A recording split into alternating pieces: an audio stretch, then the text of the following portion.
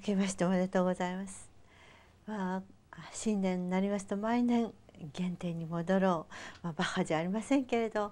うん、原点に帰って一生懸命勉強しようと思うんですけどこれがなかなかうまくいきません。まあ、子供の時を考えますとだいい朝9時に、えー、練習を開始し23時間やって昼ご飯や食べてまた23時間やってお茶飲んでまた23時間やってお夕飯で7時夜7時になればちゃんとまたピアノに戻ってみたいで大体まあ私の場合個人差もあるんでしょうけれども集中力っていうのが2時間半から3時間ぐらいで、まあ、あの疲労を感じますんで。最初はなんかもじもじするんですねお茶を飲みに行ったり冷蔵庫の中にケーキが1個残ってるのを思い出したりトイレ行ったりいろんなことして集中始めるとまあ1時間半か2時間そのぐっとこう来るんですけれどもでそういうパターンがとっても私自分には合ってるもんですから常になんかこう本気でこう練習に集中したいという時はこのパターンに戻るようにしてるわけなんです。でもこの原点に戻るといいますかこのパターンに戻るのはなかなか雑用が多くってうまくいかないことが多くて今年こそはもうできるだけ多くそういう時間を取りたいと思っています。まあ、音楽家の場合原点に戻るとか原点に帰るなんていうとどうしても原点版というのを思い出してしまいますウルテクストですね。でも楽譜といいましても昔はその楽譜自体を手に入れるということがなかなか大変なこともありましたしまた私のまあ育った時代というのは先生のおすすめに従って日本版を全部揃えたりしましたもんですからその何て言うんでしょうかその原点版というものがあるということさえも知らなかったってこともありました。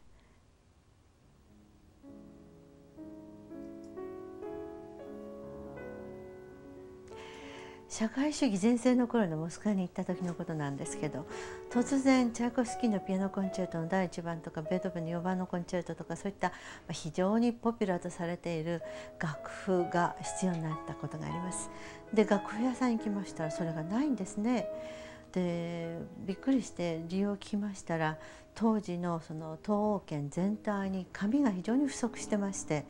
そのためにその重要な本から出版物からが出版できないでいるというような話を聞きました。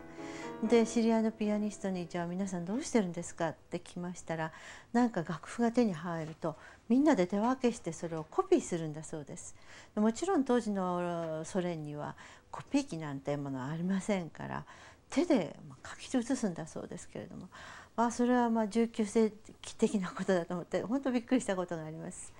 でまあこうやって手で書きますば当然その何て言うんですかミスも多くなる。で例えば昔の作曲家バッハなんかあの弟子がいっぱいおりましたからバッハがカンタータなどのそのオーケストラの奏譜を書きますと弟子がみんなで手分けしてそのパート譜を書くわけですね。そうしますとまあ間違いやなんかもいっぱい出てくるわけです。でそれをバッハが全部チェックできればいいけどチェックする時間がなかったりあるいはチェックしてもその時ふっとまた大作曲家バッハはひらめいて違う自分がそういうふうに書いたことと違うことに変えてしまったりということもあったわけですね。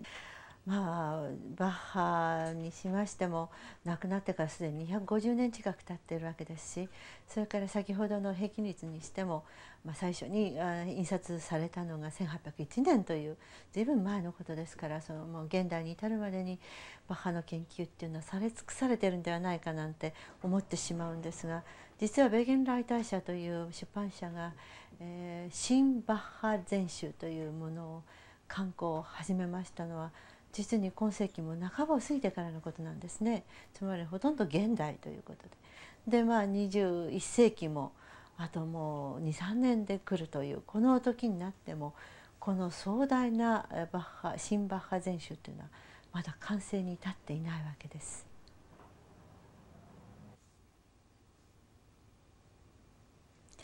原点に戻るというのは、まあ、音楽家にとってはなんか考古学のようなスリルに満ちています。まあ、知られざることもいっぱいまだありますしそしてどうしても発見できないあのなんて言うんでしょうかもう消失してしまった部分というものもあるわけですね。